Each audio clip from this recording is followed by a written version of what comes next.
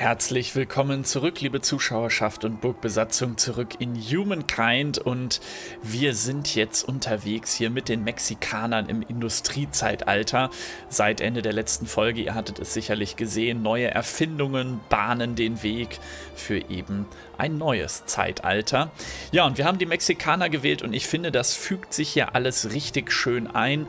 Ähm, die Eroberung dieses ganz neuen Kontinents, der sogenannten neuen Welt, zunächst mal durch die Teutonen, später dann durch die Spanier, die mit ihren Konquistadoren hier erobert haben und auch diese neue Stadt gegründet haben, Neu-Toledo. Und um diese Stadt herum, da, ja, da ist jetzt das Zentrum unseres ähm, gewandelten Reiches, könnte man sagen. Ich finde das auch sehr schön, wie das hier im Spiel ähm, präsentiert wird, ähm, denn man sieht jetzt hier sehr schön, wenn ich mal das, äh, das äh, Interface einschalte, dass sich jetzt auch hier einiges ähm, immersiv verändert. Also nicht nur, dass hier jetzt durch das neue Zeitalter ganz neue Grafiken, ja manchmal noch ein bisschen verbackt hier drüben, äh, auftauchen mit neuen äh, Wagen und ähm, neuen Baustilen etc., die natürlich auf die Kultur abgestimmt sind, sondern nein, auch die Einheiten, Bilder haben sich verändert. Guckt euch das mal an, zum Beispiel die Siedlereinheit hier oder auch hier unsere Armeeeinheiten. Klar, die Konquistadoren sehen noch so aus wie vorher, aber die Piketiere oder die Arkebusiere, die sehen jetzt richtig, ähm, ja, die sehen jetzt richtig nach nativen äh, nach ursprünglichen Einwohnern dieses neuen Kontinents hier aus. Das passt also richtig gut. Amerikanisches Ureinwohnerprinzip sozusagen hier angewendet. Und das passt ja, wie gesagt, so schön, weil es doch klar ist, dass so ein Reich wie das der Spanier, das seinen Schwerpunkt jetzt so stark in die neue Welt verlegt hat, dass das auch irgendwie jetzt langfristig eine neue Identität ähm, sich selbst gibt durch natürlich ablaufende Prozesse und dass diese große Anzahl von indigener Bevölkerung sich jetzt allmählich auch im Reich immer stärker repräsentiert und sogar dazu führt, dass unsere Kultur hier jetzt primär mexikanisch definiert ist. Und das finde ich eigentlich sehr schön. Wir sehen immer noch Überreste vergangener Kultur und eine alte äh, gotische Kathedrale hier zum Beispiel. Ähm, einen alten spanischen Hauptplatz etc. Aber würden wir jetzt eine neue Stadt gründen, dann hätten wir wieder einen anderen Hauptplatz, der mehr mexikanisch aussieht. Also das finde ich wirklich sehr, sehr schön gemacht im Spiel, dass hier so diese Geschichte nachvollziehbar ist und man sich hier schön immersiv auch reindenken kann in diese Geschichte, die hier eigentlich sehr abstrakt ja vonstatten geht, aber die hier sehr schön eine natürliche Entwicklung nimmt. Und das finde ich ähm, ist eine der ganz großen Stärken auf jeden Fall vom Spiel. Wir haben heute viel vor. Ich werde mal mit einer Sache anfangen, die, glaube ich, jetzt auch erzählerisch ganz sinnig ist, und zwar bei den Verordnungen. Wir hatten mit den Spaniern ähm, so typisch in spanischer Manier hier einen Erlass oder eine Verordnung erlassen zur Frage der Kolonialisierung. Welches Modell sollten unsere Städte in fremden Ländern haben? Da haben wir Vasallenstaaten gewählt, egal wie weit entfernt sie arbeiten für ihr Vaterland. Das geht also hier geopolitisch Richtung Heimatland. Ähm, hat uns hier Kampfkraftboni gegeben und einen ähm, Zustand namens Untertänig auf neu eroberte Städte. Das werden wir hier jetzt mal zurücknehmen. Das kostet uns ziemlich viel Kulturpunkte, aber das werden wir jetzt tun. Wir wandern also hier in diesen Bereich zurück auf der Achse Richtung ähm, Richtung Welt ein Stück weit, weil ähm, wir natürlich jetzt als Mexikaner hier nicht mehr in einem fremden Land sind, sondern das ist ja eigentlich unser Land, das wir uns jetzt neu geschaffen haben. Also macht das für mich auch keinen Sinn, diese Verordnung beizubehalten. Es bedeutet jetzt aber auch, dass wir, wenn wir eine neue Verordnung erlassen möchten, richtig lange ansparen müssen. Naturalisierte Kolonien wären vielleicht in Zukunft noch eine Option, aber da müssten wir dann mal drauf schauen. Was wir dann auch mal bei Zeiten machen müssen, das mache ich aber jetzt heute nicht in der Folge, sondern im Laufe der Staffel. Wir, ihr habt ja gesehen oder wahrscheinlich eben beobachtet, dass jetzt die Kosten günstiger geworden sind, um einen weiteren Erlass zu eine weitere Verordnung zu erlassen. Das liegt meines Erachtens daran, diese Kosten sind, glaube ich, gebunden an die Anzahl der bereits erlassenen Verordnungen. Das heißt also, Dinge, die jetzt für die Mexikaner vielleicht nicht mehr ganz so eine große Rolle spielen, die könnten wir tatsächlich zurücknehmen nach und nach. Das kostet, wie gesagt, auch Punkte, aber dann hätten wir entsprechend ähm, Dann hätten wir entsprechend auch mehr ähm, Freiheiten für solche Sachen wie hier industrielle Produktion könnte zum Beispiel jetzt ein Thema werden. Materialien beschaffen oder Pressefreiheit, künstlerischer, künstlerischer Ausdruck und so weiter und so fort. Und das alles, das ähm, denke ich mal, das wird bei uns jetzt hier zunehmend eine Rolle spielen. Alte Sachen werden vielleicht wieder abgebrochen, aber dafür brauchen wir eben auch eine Menge Einflusspunkte das heißt also, das können wir nur nach und nach jetzt alles verändern. Ist aber mir jetzt aufgefallen, dass das nochmal eine interessante Dynamik ist, die man dadurch erreichen kann, ähm, ein bisschen mit dieser Währung rumzuspielen, weil sonst hat man das Gefühl, von diesen Währungen hat man so schnell so viel, aber so viel ist es ja am Ende doch dann gar nicht, da zumindest nicht bei unserem Einfluss hier, weil wir eben so viel auch ausgeben müssen im Laufe der Zeit. Ja, dann können wir uns noch ein, ein Wunder wieder aussuchen, eines beanspruchen. Das können wir derzeit nur nicht, weil uns eben Kultur- oder Einflusspunkte fehlen. Ähm, ich würde am liebsten hier auf die Freiheitsstatue gehen, weil ich finde, das passt jetzt ganz gut, dass wir uns ja erzählerisch jetzt so ein Stück weit von den Spaniern auch emanzipiert haben, von diesem alten Gedankengut emanzipiert haben und das wäre dann für mich ein krönender Abschluss, die Freiheitsstatue zu bauen. Das würde aber sicherlich noch nach einigen Verordnungsveränderungen erst kommen, also da lasse ich mir auf jeden Fall noch Zeit.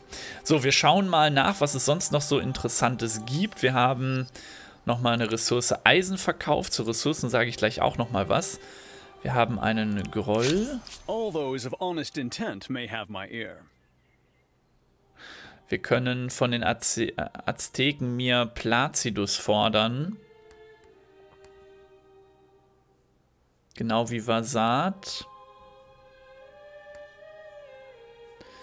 Die sind uns ja schon übellaunig. Aber die sind auch weit hinterher. Die könnten bald in die frühe Neuzeit. Ich denke, das werde ich fordern, das Ganze. Wir haben sowieso schon Kriegsunterstützung, aber ich finde, wir sollten da ruhig beibleiben. Was gibt es denn sonst noch hier? Gläubige, Geb Versat, ja, wegen der Geschichte. Gläubige, Gläubige, das ist uns, glaube ich, jetzt nicht ganz so relevant. Was war das hier? Die haben unsere Armee damals angegriffen. Ja, da fordern wir auf jeden Fall Gold. Denn Gold können wir immer gut gebrauchen. This is an outrage! Hat er das jetzt gemacht? Ich glaube nicht.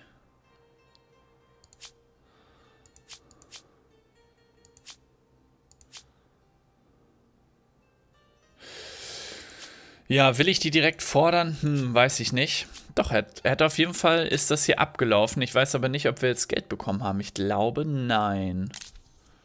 Beziehungen, ja, ist weiter übellaunig. Gut, lassen wir das erstmal so stehen. Gewalt hat einem Handel ein Ende gesetzt mit den Haudenosaunee.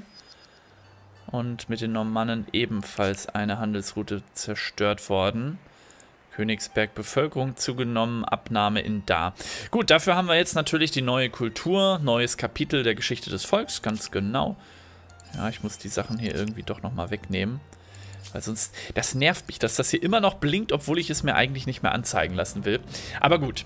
Ähm, was wir jetzt machen müssen, wir müssen mal ein paar Sachen gucken. Also erstmal finde ich, dass Neu-Toledo hier zu Recht eigentlich die neue Hauptstadt unseres Reiches werden sollte. Ich denke, das äh, ergibt sich aus der Erzählung, die ich eben begonnen habe, schon ganz natürlich. Als Mexikaner wollen wir jetzt hier Neu-Toledo, unser neues Zentrum in diesen neuen Landen auch schaffen. So, Neu-Toledo ist damit zur Hauptstadt ernannt worden. Sehr schön. Ich finde auch, wir sollten hier als erstes mal diese tolle Hacienda bauen. Auf diesem großen Anwesen arbeitet das verschuldete Landvolk auf Plantagen in Obstgärten und im Haus für mexikanische Landbesitzer. Also ihr seht, mit unserer eigenen Bevölkerung gehen wir auch nicht gerade zimperlich um. Ähm, das gehört irgendwie auch geschichtlich dann dazu. Aber trotzdem sind wir auf unsere eigene Freiheit stolz. Das gibt sich irgendwie die Klinke in die Hand. Ja, wollen wir hier oder hier? Ich denke mal, hier im Tal bauen wir die erste Hacienda hin, damit die für uns schuften dürfen. So. Gut. Und dann hätten wir noch so einige Möglichkeiten hier, was wir noch an Manufakturen hier auch in der neuen Hauptstadt machen können. Gold, Edelsteine, Salz, Salbei und Marmor. Ich denke, wir gehen mal ganz klassisch. Wir starten mit Gold. Äh, ah, hier drüben. Eine Goldmanufaktur ist natürlich so ein bisschen grenznah an Texcoco. Da müssten wir dann eventuell ein wenig Schutz bieten. Ja, da sind wir uns sicher, dass wir das machen wollen. Das kommt ja dann sowieso erst in acht Runden. Das dauert noch. Unsere Armee kann schon mal Aufstellung dann nehmen, bitte. Dass das passiert. So, dann möchte ich danach noch eine Edelsteinmanufaktur hier unten hinsetzen. Ja, ganz definitiv. Und eine Marmormanufaktur. Die wertvollsten Dinge sozusagen, die wollen wir hier als Manufakturen auf jeden Fall etablieren. Das soll ja den Reichtum unseres Reiches jetzt auch dann entsprechend zum Ausdruck bringen. Ja, und danach müssen wir uns mal Gedanken machen, was wir hier an Infrastruktur noch bauen wollen. Getreidesilo, Silo, Bank, Börse, eine Schaubühne. Aufführungen finde ich auch ganz interessant. Wir brauchen jetzt auf jeden Fall so viele Einflusspunkte. Wir brauchen aber auch eine Menge Wissenschaft pro äh, Salpeter kriegen wir 2% Wissenschaft und plus 10 pauschal. Das ist eigentlich ganz nett, dauert alles jeweils 5 Runden. 2 Wissenschaft pro Forscher ist natürlich auch ziemlich mächtig. 2 mal 11, das sind schon 22 pauschal. Ich glaube, die Prozentualen sind auch fast genauso gut. Universität.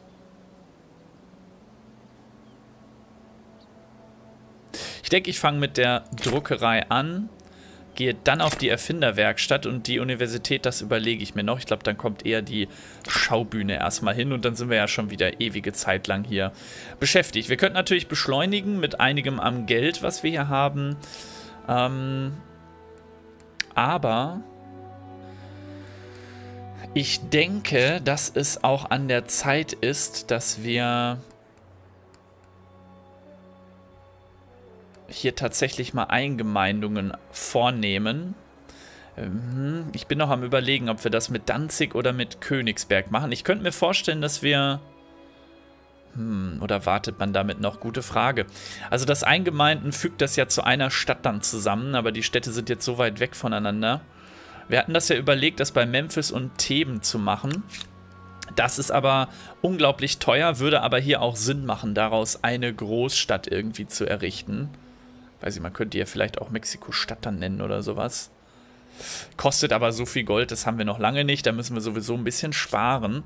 Deswegen würde ich auch sagen, dass wir da erstmal ein bisschen abwarten. So, Memphis hat, glaube ich, auch noch ein bisschen was zu tun. Bauen hier noch eine Farbmanufaktur hin. Auch hier könnte man sich natürlich überlegen, dann vielleicht ähnlich vorzugehen. Erstmal ein Kuriositäten. Kabinett. Ja. 45 Wissenschaft, dann die Druckerei, Erfinderwerkstatt und die Schaubühne. Für den Rest müssen wir mal gucken. Hier gibt es noch die Bank. Ja, wie gesagt, warten wir erstmal ab. Das sind ja schon hier einige Runden im Voraus. Und in Theben, ja, da haben wir hier noch eine Steuerverwaltung, Manuskriptatelier, Steinverarbeitung. Das dauert ja alles ewig und ist lange, lange überfällig. Genau wie sowas wie eine Kaserne oder eine Stadtwache und der ganze Kram. Das ist eigentlich alles nachzuholen aus vergangenen Zeiten hier. Das zieht sich alles hier so in die Länge. Genau wie diese Sachen natürlich jetzt hier auch. Zumal hier auch die Bauzeiten wesentlich länger sind. Ich mache hier nochmal einen Fischgroßmarkt. Das ist dann auch in Ordnung. Und in Athenai haben wir gerade Bibliothek, Manuskriptatelier und Perlenmanufaktur.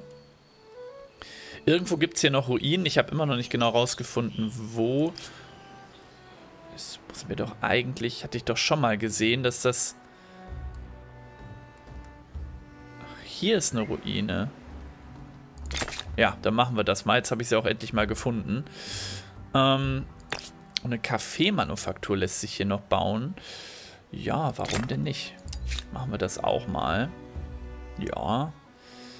Dann hätten wir noch künstliche Wasserspeicher am Fluss, noch Nahrung erhöhen in zwei Runden gerne. Holzkohlemeiler, Wassermühle, Steinmauer, ja, das sind so Sachen lange überfällig eigentlich. Stadtwache, Aquädukt, machen wir das alles mal. Das wird sicher einige, einige Runden noch dauern. Gut. Wir sehen übrigens, genau, Ressourcen. Es gibt Kohle, die jetzt auffindbar ist. Dafür brauchen wir natürlich wieder eine Technologie, nämlich die Dampfmaschine. Und es gibt sogar ein Ölvorkommen, was wir hier haben. Das ist natürlich super, brauchen wir Verbrennungsmotor für. Und wir haben weitere Kohlevorkommen, zum Beispiel hier oben im hohen Norden noch entdeckt. Hier so im Tigergebiet, hätte ich bald gesagt. Und irgendwo habe ich das gesehen. Hier bei den Nachbarn gibt es noch ein Gebiet. Und bei uns hier bei Athenai, da hat sich auch noch eine Kohle hervorgetan. Finde ich auch sehr interessant. Aber sehr, sehr cool. Gut.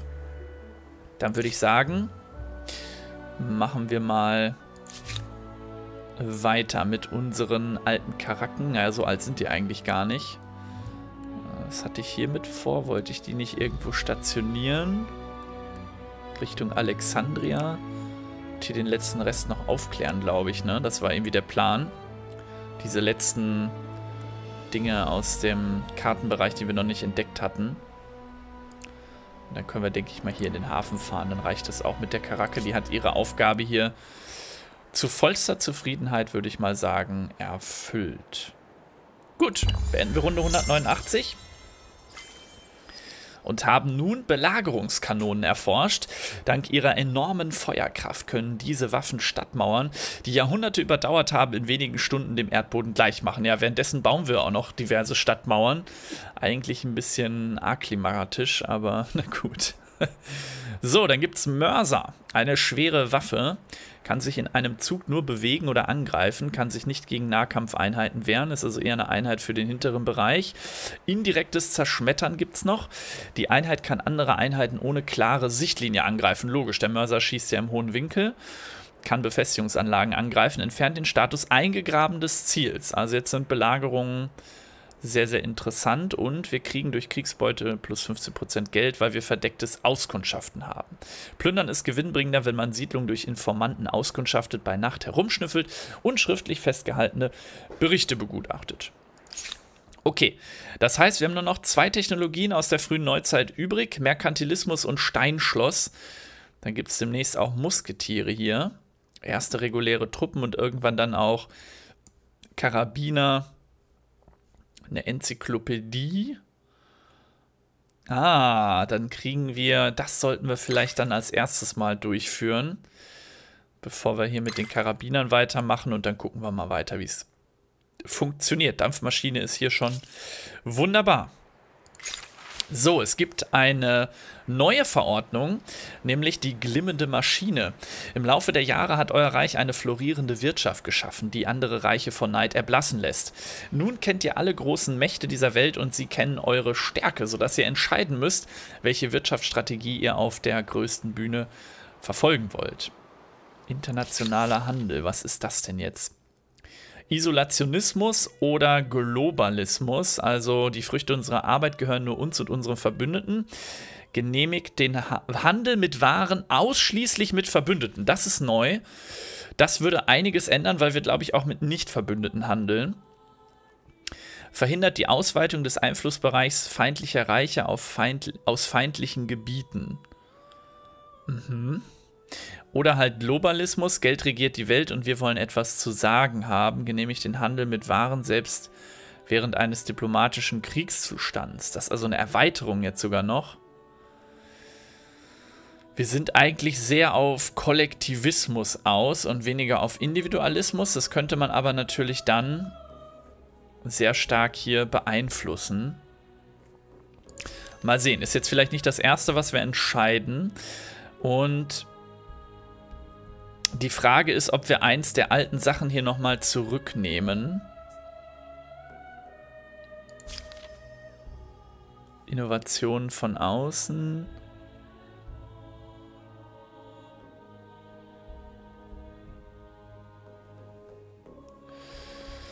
Tja. Wissensmonopol. Wer hat den größten Einfluss auf das Wissen des Reichs?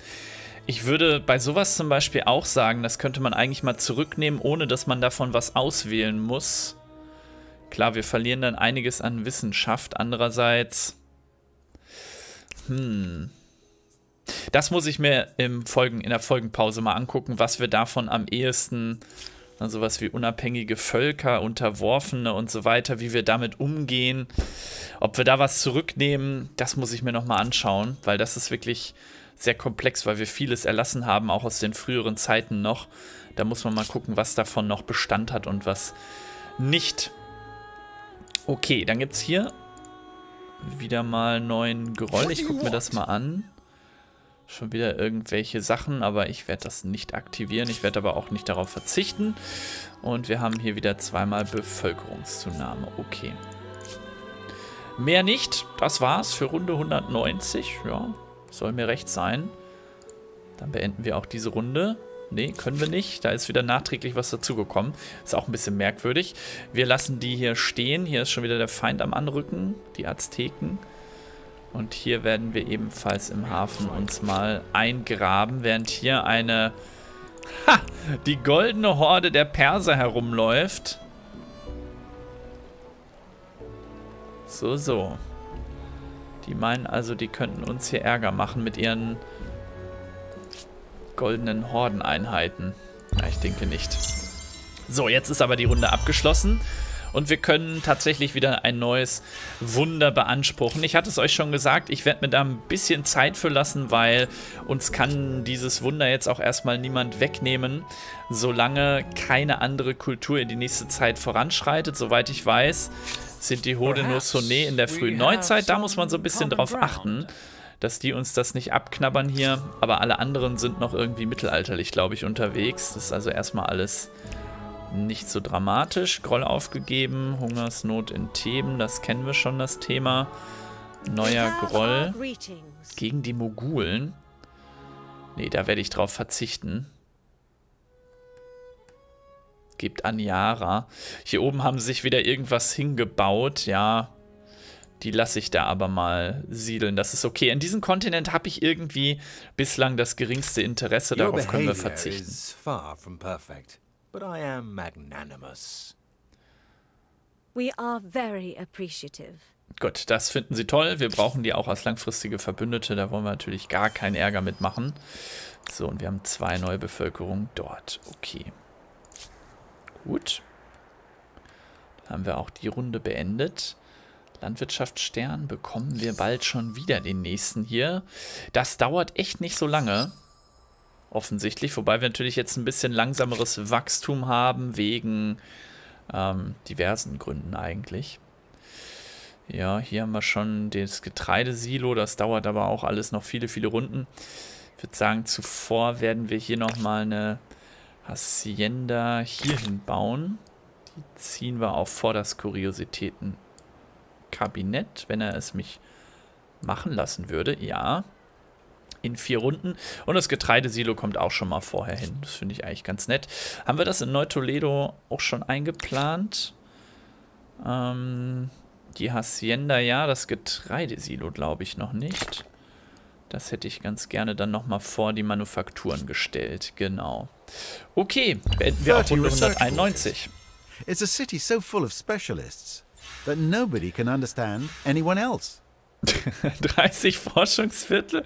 Wo sind denn hier 30? Oder er meint reichsweit, glaube ich, 30 Forschungsviertel, ne? Wenn wir hier 11 haben. Also hier 30 haben wir nicht auf einer Stadt, da bin ich mir ziemlich sicher. Noch eine neue Verordnung. Gewaltenteilung. Seit Jahren nehmen immer weniger Menschen an den religiösen Festen teil, weil die Kultur des Reiches mehr Bedeutung gewinnt und nun ist es an der Zeit, Religion von politischer Macht zu trennen. Bitte was? Sollte Religion eine persönliche Angelegenheit sein oder sollte sie in der Gesellschaft eine Rolle spielen? Gottlosigkeit? Was? Das ist ja Säkularismus gegen Staatsatheismus? Bei den Mexikanern? Die sind doch so erzkatholisch, also... also das halte ich aber für uns hier für so 0,0 relevant, wenn ich ehrlich bin, so pauschal und ad hoc. Also da würde ich sagen, das ist eigentlich nicht unser Thema hier bislang. Nee. Lasst mal lieber, Leute. Das machen wir bestimmt nicht. So, wir werden geplündert. Bitte was? Hodenosaunee-Rebellen sind in La Superba. Ach du, ja. Und da sind auch noch Rebellen. Das ist ja eine üble Geschichte hier, dass die hier alles plündern. Das ist ja eine Frechheit. vier Runden. Ich glaube, wir müssen diese Stadt hier mal einnehmen. Das wird hier zunehmend zu einem richtig, richtig großen Problem. Und unsere Armee ist jetzt tatsächlich komplett weg, die wir hier stehen hatten. Das ist natürlich jetzt doof. Ich dachte, ein Teil davon wäre nicht angeworben gewesen. Eventuell verlieren wir jetzt hier unsere tollen Gebiete. Das ist natürlich... Ja, da müssen wir was tun. Hilft auch alles nichts. Wir haben eh hier so viel Bevölkerung. Da müssen wir da mal ein bisschen was ausgeben, liebe Leute.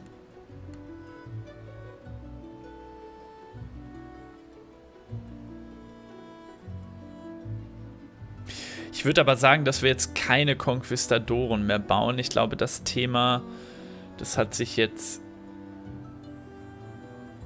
relativ erledigt. Was sind das denn hier überhaupt für Einheiten? Das sind alles eingezogene Leute hier. Irgendwelche unwichtigen Rüpel, sage ich mal. Mehr sind das hier nicht. Ja, ich würde sagen, dann werden wir auf jeden Fall hier ein Arkebusier und drei zwei Arkebusiere und drei Schwertkämpfer direkt nach vorne ziehen. Da werden wir direkt gegen steuern. Das müssen wir jetzt ja auch, weil in vier Runden plündern die ja bereits zu Ende hier. Dann ist es bereits abgeschlossen. Müssen wir jetzt ein bisschen verschieben das Ganze, wie immer. So, acht, fünf, fünf Runden dauert das hier. Ich denke, da gebe ich jetzt auch ein bisschen Geld aus, damit schon mal der Arkebusier fertig wird. Dann dauert das vier Runden, ist mir immer noch zu lang. Wir machen, ach wisst ihr was, wir werden jetzt einfach alles ausgeben. Das Geld kriegen wir so schnell wieder zurück, das ist äh, nicht so relevant. Mir ist jetzt hier wichtig, dass ich nächste Runde die Armee losschicken kann mit einer super Erfahrung und die dann direkt hier angreifen kann, bevor die hier fertig sind mit ihrer Plünderung. So, und die haben schon wieder ein Abkommen beendet. Also irgendwie macht die KI das jetzt offensichtlich ganz gerne dass sie uns hier Abkommen aufkündigt. You, Die haben alle Übereinkünfte hier auf einmal weggenommen. Also, das finde ich nicht gut. Das nimmt uns hier natürlich Punkte weg. Aber gut, so ist es jetzt halt, oder nicht gut? In Hodenossone, die sind hilfsbedürftig. Ja, dann lass uns doch mal eine Zollunion oder sowas machen. Sollen wir denen mal eine kulturelle Übereinkunft vorschlagen? Weil daran mangelt es uns am ehesten momentan währungstechnisch. Grenzpolitik. So, tell me. Nö. Shall we become closer? Wollen sie nicht. I'm sorry, but no deal is better than a bad deal. I am dying to see where this decision leads us. Ja, und ich würde sagen, wir üben jetzt mal Druck aus. Die sind so unter Druck ähm, und wir können das jetzt von ihnen fordern. Äh, sie sind hilfsbedürftig, sie sind darauf angewiesen, also machen wir das jetzt auch. Jetzt sind wir mal hart. Peace is the greatest gift I can grant my people. Siehst du, er macht das Why nämlich. Are you so unhappy accepting the inevitable? Gut ja, sie haben Groll gegen uns zur Schau gestellt. Das ist natürlich schön, aber irgendwie auch Banane. So, wir haben immerhin hier eine kulturelle Übereinkunft mit den Haudenosaunee. Das passt ja auch ganz gut hier, so eine amerikanische Kulturübereinkunft. Finde ich eigentlich nur logisch. Und dazu mussten wir sie jetzt aber irgendwie bitten. Das hat dann doch mehr Probleme gemacht. Wir hatten jetzt einige blockierte Handelsrouten. 34 blockierte... Hä? Ich verstehe es nicht. Die sind doch jetzt nicht mehr blockiert, das kann mir doch keiner erzählen.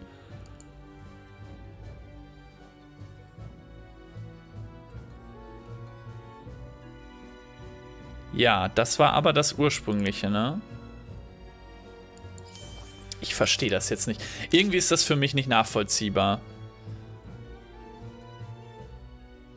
Ja, wir haben jetzt von offene Städte haben wir kulturelle Einkunft gemacht, Übereinkunft gemacht. Aber deswegen haben wir doch unseren Handel nicht beendet hier.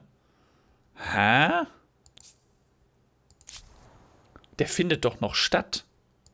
Also diese Nachricht manchmal sehr merkwürdig. Hab ich wirklich jetzt nicht verstehen können, was das meint. Wie dem auch sei. Liebe Leute, wie dem auch sei. Ähm, ich lasse hier mal die Armee noch marschieren. Ach, hier ist unsere andere Armee geblieben. Die ist doch noch da. Da wollten wir. Ja, ich würde sagen, dann fangen wir hier auch ruhig mit einer Belagerung ohne Belagerungswaffe an. Damit diese Rebellen mal endlich ein Ende finden. Dafür müssen wir aber hier komischerweise einen riesen Umweg nehmen. Nun denn, dann würde ich sagen, äh, mit dem Ende der Runde verabschiede ich mich von euch für diese erste Folge der Staffel mit den Mexikanern. Ihr seht also, es ist ähm, nach wie vor Konflikt vorhanden, Konfliktpotenzial vorhanden hier auch mit unseren, äh, teilweise mit den Nachbarn, mit diesen Rebellen hier. Und wir müssen jetzt erstmal alles so ein bisschen sortieren zu Beginn äh, dieser Staffel und dieses neuen Zeitalters. Bis dahin macht's gut. Euer Tastenhauer sagt ciao, ciao.